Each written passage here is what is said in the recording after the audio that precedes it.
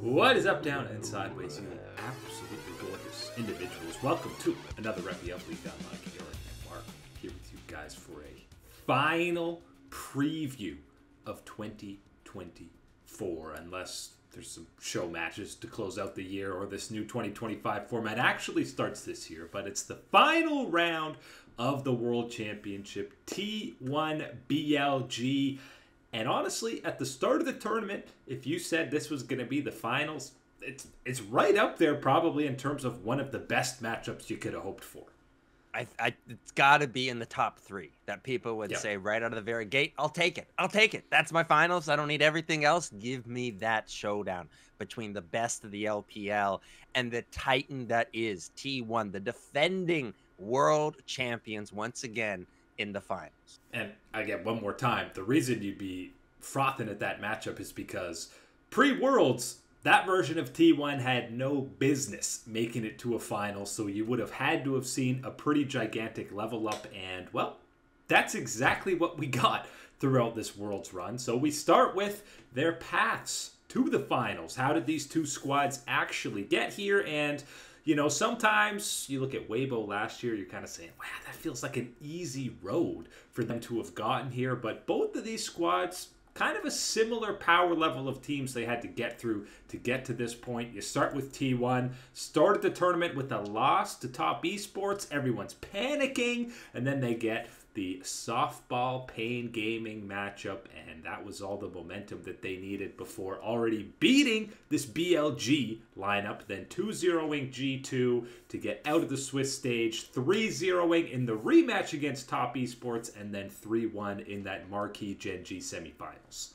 Oh, baby. Yes, that is the path of the T1 level up that we have seen through this World Championship. And it's a real easy path to, to chart out because, again, you start with that loss to top esports. And it was one of these ones where, yes, there were moments and yes, there were times where it was close, but it really was, you know, the way the top esports were able to team fight. It was Tian's counter engages. It was JackeyLove on that static shiv, Jhin build doing all that damage. Then you get the paiN Gaming game. You get that rebound, of course, for T1. You get through to that next spot and you get again that match against G2 where again you saw that type of power you saw the level up in the BLG series before that we were talking about the power level and you really saw it in the quarterfinals in the rematch against Top Esports the dominance the absolute control and pace that T1 was able to close out that series that is the T1 that are the defending world champions, that are the T1 that have been to three consecutive world finals now. That's the path that they laid out. That's and then you look at that as a whole, that's only two losses total that they had throughout that run. You know, that top esports one and then the one to Gen G in semis. The BLG side of things, initially you say, this looks a little bit maybe easier. Number one, okay, they have a Western team to kick things off against Mad Lions Koi. Then they drop games to both LNG and T1. Everyone's panicking. BLG is one series away from being eliminated before they even get to top eight. But both of those losses, I think people were saying LNG and T1 just kind of played out of their minds. It wasn't like BLG was terrible in those matchups. And then we got the slow level up to take down PSG, an incredibly competitive uh, best of three against G2. And that's two non-major regions that they beat to qualify for top eight. And at that point, I think we were all still a little bit sus on BLG, but as soon as you get to that bracket stage and they draw Hanwha Life in those quarters, I still feel like that was the perfect matchup for them because they basically had a semifinals level opponent immediately, which means they had to level up right away you had to be, uh, you know, wary of this BLG team, despite the record that they started out with uh, out of the gates in that first, you know, three or so matches of this World uh, Championship. Looking at how they played, you're still saying this isn't unfamiliar. This is the BLG that I recognize. It was just again, you laid it out. LNG T1, more about how their opponent rised up on the day and what they were able to do that still causes a little bit of concern as you look at BLG and you go, okay, well, we need to start seeing a little bit more come online, a little bit more of that fierce dragon that was fighting all the way through the LPL. you got to see that in these knockout rounds, in these later stages, is where it really became the BLG show. You had, of course, been doing what he does in the top side, but it ain't about that. It's about checking in on the mid lane, checking in on Mr. Knight in what he's been able to do in the legacy that he is carving out at this world championship. And down at the bottom lane, looking at your boy Elk and how he has contributed. And again, this has been a big year of continuing that glow up from him that started last year. And um, yeah, I mean, this is probably the best individual performance out of Knight so far that we've seen at an international event at the very least. But uh, those two paths the teams took, the knockout rounds are honestly almost flipped in what you were seeing. They both 3 0 an LPL team and a competitive, what should have probably gone five game set against what were the two top teams from the LCK. So both had a challenging bracket run to get here, but now sitting pretty for that marquee matchup in these World Finals. You dropped the L word, legacy, heading into this World Finals, and we want to look at who has the biggest or the most on the line in terms of their legacy in these finals? And yeah, spoilers, it's not Faker. Faker can go winless for the next entire year, and his legacy is pretty safe. But uh, outside of Faker, I think you can talk about all four other T1 members, and this being an important finals because winning two out of three finals or one out of three is a very big difference. And if T1 comes away with this, I think you're putting these other four T1 members as like best in their respective roles when you look at a stacked history of T1. A secret, it's a it's a sandcastle building competition across the League of Legends community. Faker is out there and he's not fighting fair. He's building with cement. That is what his castle is stood the test of time. It is still there despite the high, the low tide, all those type of things. The rest of T1, still sandcastle, still capable of being eroded by the tide until this series. Because if they win this one, I think as well, they start to cement their castles with that sturdy building block material that we know has stood the test of time, like Faker. I'm looking at a guy like Keria down in the bottom lane, someone that a lot of people ourselves included, have very early identified the type of talent and unique person that he can be and what legend he can carve for himself in the in the pantheon of all the amazing players we have seen. The title added to this one, that would be a pretty darn big one for me looking at the skills and the play and the and the play set that he brings to the table as a player. And I think, you know, we forget how early these guys still are in their career. All four, like Guma's the oldest of them at 22 years old. So, regardless of what happens after this year for them, if they end up on different teams, whatever, there's still many pages to put uh, in the book for all of these guys. But three straight world finals, and if you win two out of those three, I mean, you're already in like all time conversation, especially for your respective roles. And again, at the top of Mount Rushmore when it comes to T1 specifically in stacked roles. So a lot to play for for those four guys. And then when you look on the BLG side, I think the obvious first one to talk about is Knight in the mid lane. His first finals. We've talked about this guy as one of the best mid laners on the planet for what, four plus years now? And he has a chance to be that first non Korean mid laner to hoist the Summoners Cup since, what are we talking, Toyz in season two? And there's a lot of eyes on Knight now after the series that T1 had against Gen G and the individual performance of Chovy throughout this World Championship. There is a lot of people, a lot of attention, and unfortunately, a lot of haters, a lot of doubters coming through. Again, people that challenge that there will ever be someone that can rise up to that type of level of faker can be a challenger in that type of realm of that elite that we talk about this is your shot. This is your moment Knight. You gotta make sure that you take it. You don't want to miss one of these ones as you as they start piling up type of situation. You gotta start early. Get that advantage. Get it going. This is a big one for Knight and he's had a lot of performances. I think we've had still you know, not necessarily as many uh, as someone like Chovy, but he still has been around these events. He's had some disappointing finishes where people go, we needed to see more. He had to be a bigger player. This is one of these moments where you can rise up against this upgrade, this T1 that is in form to be, again, a world championship contender. Can you take down the best of the best?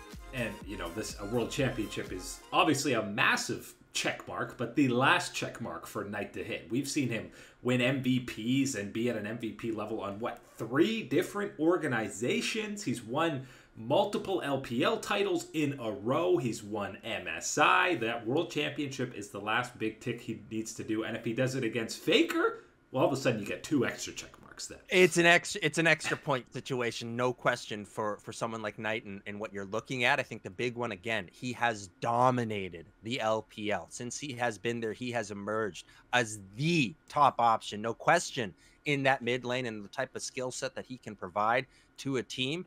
Now it has to get done on the international stage because yes, all we want to talk about MSI, LPL championships, all these type of things, they might matter to you and I. They might matter to people in the LEC and the LCK, but you go to the LPL, you listen to how they talk about it. They don't care. Xiaohu, all of his incredible things doesn't matter. My man loses to Faker on the international stage. He's a bum, which we all know that's not true. Number 1. Number 2, but that goes to show just the type of pressure and importance that is on succeeding on the international stage for the LPL, succeeding on the international stage against the LCK, and succeeding against Faker, the number one roadblock for LPL success. Yeah, you can lose in the first round of playoffs in every split. If you win Worlds, nobody cares about what happens in uh, those LPL splits. And then the other guy on BLG, I think that has a big legacy game you can talk about is Mr. Bin on that top side. His return to the World Finals for the first time since his rookie year, basically on Suning. And for how long we've been talking about him as one of the most premier top laners, again, not just in the LPL, but worldwide. He's 21, 21 years old, already got two at least world finals under his belt. But if he wins this, he's won MSI before again. He's got all the check marks, but that world championship, and to get one at 21, let's see it. I'm I'm scared for the rest of the league community if Bin does get to win this one because the path that he will be set on and how he will blaze everybody around him is going to be something different if he is able to capture this one and start building his own legacy in this type of way of international championships. He has rebounded, I think, since that we've talked about BLG not necessarily being at their best, you know, not looking unfamiliar, but not exactly being the dominant BLG that we have seen run through the LPL. Getting in these knockout stages, performing more like that. Bin has been a big part of that. Keep Jax out of this man's hands. I don't want to test it. I know you got a little bit of a counter on the side of Zeus. You can bust out that Gragas we've seen and we've praised it many. I don't want to test. I do not want to run the, the chances and the numbers against Bin's Jax. And, you know, he talked about it in an interview. Holding the weight of the LPL, they've never beaten T1. The LPL as a whole, pick any Chinese team, they can't eliminate him from Worlds. If they do it against Faker and T1 in the finals, then again, both Knight and Bin getting poof the stocks are going way high for both these solo laners for BLG. Now, all that's left, we got to do the actual main preview. We're going lane by lane, Mark. Who's got the edge across the board? And we were just talking about them. So let's start with Bin versus Zeus in that top side. This is a tumultuous rivalry. I feel like we've swayed back and forth. We've had MSIs where Bin has completely gapped Zeus and he's been called a choker, but the last year or so it's been Zeus who's been the one getting the better edge. This is such an interesting matchup because you have that back and forth, because you have the examples of Bin just crushing, dominating, all the pressure turning towards Zeus. And then we've had Zeus rise up, stand the ch- test, be ready for that against Bin. Uh, in the most recent example, of course, this is going to be a messy one up in that top side. You better expect to see some early and often action up in that top lane. Yeah, and obviously now in this meta, it's not just a 1v1, it's who can be better at lane swapping. I think we've seen both of these teams do some incredible dives and some flabbergastingly bad dives when it comes to lane swaps, but you, you, know, you mentioned we have to mention the Jax for Bin. Eight out of his 15 games, by the way, at Worlds have been on that Jack. So whether it's Zeus pulling it away, it being banned, or as we've alluded to, that Gragas counter pick for him. But the other surprise uh, champion for both these guys is only a single K'Sante game between the two of them at Worlds so far. Love it Love it. Love to hear that. The, the blessed non K'Sante guys up in the top side.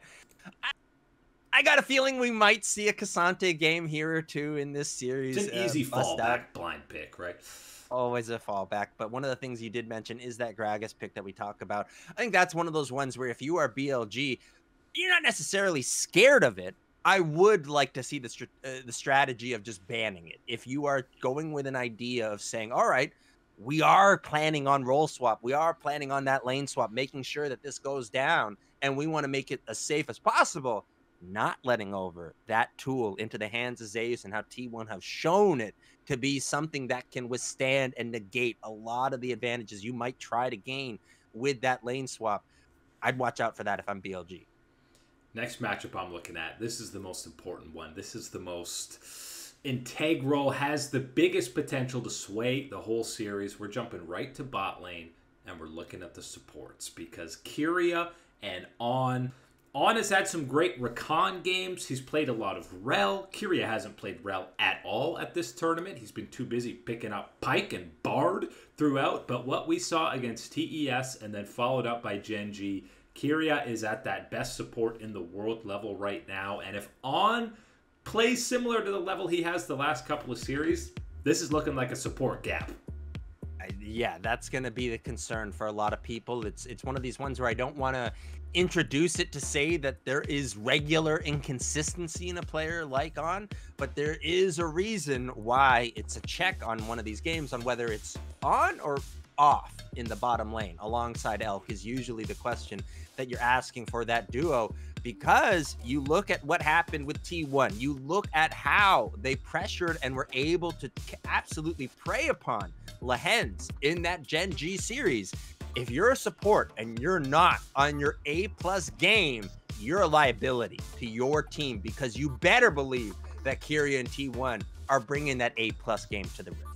And yeah, as soon as you combine it with the bot lane buddies, that's when uh, I mean, there's less two v twos. It feels like these days, straight up in uh, what the meta is getting because there's so many different lane swap variations, whether it's AD carry top in the top lane, supports roaming mid. It's rare to get that straight up 2v2, but when you obviously Elk and Guma are both walking highlight reel machines. If you look at any of these top five, top 10 plays so far at Worlds, Elk and Guma are featured uh, quite often in them. But when you look at the picks we've seen out of the bot laner so far, Elk is 5 and 0 on Kai'Sa. Guma hasn't played Kai'Sa yet. We know he can play Kai'Sa, but that's a pick to look at. And then, of course, Elk has piloted the Ziggs. T1 has steered as far away from Ziggs as possible at this World Championship, but might have to play against it in Elk. Well, seeing how T1 was able to push against the Ziggs in the Gen G series, uh, I don't know if I'd want to try that one against T1 in this type of situation. Yeah. The Kai'Sa, that is the one I would identify for Elk and really prioritize because I think it plays, it's not necessarily about what Elk is doing on Kai'Sa, it's more so about what BLG can provide for that Kai'Sa, providing the opportunities for her to alt in, pop someone, get that team fight started in that type of way, set up her for success. That's the biggest one for me when you look at players like Bin, Knight, hell, Xun Wei. I don't care which one it's going to be in the jungle. They will be setting up that Kai'Sa to feast if you are letting that one go through. That one's what which what I would be worried about really worried about Guma's champion pool. We we are very stable and, and, and set with it and, and confident with what he can play. The X factor is Keria and what he's gonna play down in that bot lane duo. I don't think we're getting anything as wacky as when we had Yasuo and Camille and you know all, all these other type of things. But you better expect that you might see Pyke, that you might see Bard come through. Again, these little ones that are maybe kind of one offs here or there, hovering outside the meta, the way Keria plays them, they're meta. And you better be prepared for these champions coming through. Caitlyn Lux, always a terrifying duo that we know T1 will bust out too to take over some games. And Keria, all of a sudden, becomes the AP carry when he's piloting uh, that Lux pick. But yeah, Keria gets the big edge over on Guma and Elk. I'm calling basically a coin flip. Both of them can take over games. Uh, mid lane, Knight, Faker, it seems insane to say heading into a world finals, but current form individually, Edge has got to be for Knight, right? It has to be for Knight, but I want to say, how many times have we stepped up into a matchup with another high profile player and gone, okay, current form. Everything's got to be pointing to him having that edge. We're coming away from the series going, what a play by Faker. What a big moment by that. So you have to keep that in mind to understand that the margin of this edge is so slight in the favor of top esports. But that is the type of player that Knight has been through this event that you can give him that type of edge over someone even as accomplished and even as reliable as Faker has been for T1. I think that you're going to be looking again the, ch- the champion pool, what it's going to be. Uh, yeah, the Yone, a big one, of course, for both of these guys. Faker showing a little bit more comfort, a little bit more proficiency on the Yone throughout this event compared to going through the LCK regular season. This is going to be one hell of a showdown. And again, I want to bring up the legacy part of this one because if Knight is able to get this, it vaults him into a whole nother stratosphere of these contenders that have been to dethrone Faker. Ahri the most played for both of them, but yeah, uh, Knight has played 12 champions to Faker's six, twice as many unique champions as the Unkillable Demon King. Lastly, Oner versus most likely Xun. Maybe we see a Wei game, but BLG hasn't been on the back foot in a game to have to sub in. But international Oner, I don't care which one of them it is. This guy is absolutely terrifying. Skarner, Vi, and Kindred are the big three picks we're getting in this series for jungle. And this is where I want to see some of that experience come through for T1. This is where you got to go. I'm in my comfort zone. I'm in a world finals again. This is where I belong. On the other side, it's BLG going up against the Titan, trying to pull off an upset of whatever degree type of thing. You need to come in with going, I'm home. This that's where I left. Uh, that's where I left my water bottle last time I was here. All these type of things, and get in your zone. That's what I want to see from Oner to dominate the jungle at this stage with the pressure that will be there. That's the factor that I'm looking for. So when you look at laning, head to head, T1's getting the edge, and most of them, except the slight one, maybe tonight, even Zeus Bin, I think you're giving the slight edge to them, which screams to T1 winning on paper, but we know World Championships, it's a five man unit and things can go oh so differently. I, we just want a banger of a series, and I think we're absolutely going to shatter some viewership records, no question. Even if it's 3 0, five games, it doesn't matter. It's going to slap. But that is it today for League on Lock. Eric and Mark here with you, beauties. Thanks for hanging out, and we will catch you on that flippity flip.